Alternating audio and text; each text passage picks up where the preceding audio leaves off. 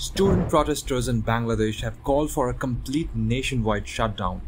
This follows deadly clashes over demands to end quotas for government jobs.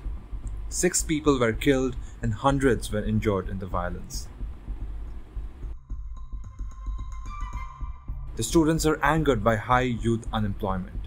Nearly 32 million people are out of work or education in the country. They're demanding the abolition of 30% job reservation for the families of veterans of the 1971 independent war. Despite the protests, many government and private offices in Dhaka were open on Thursday. Three wheelers and motorcycles were on the streets, though public buses were fewer than usual.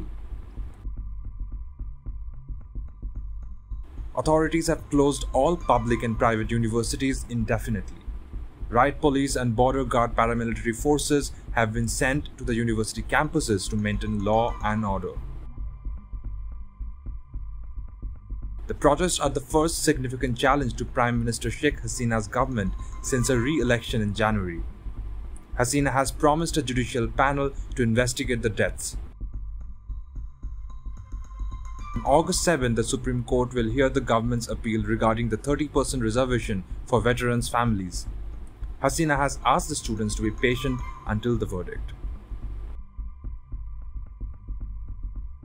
The violence was triggered by clashes between protesters and members of the student wing of Hasina's Awami League party. At least three students were among the six killed on Tuesday.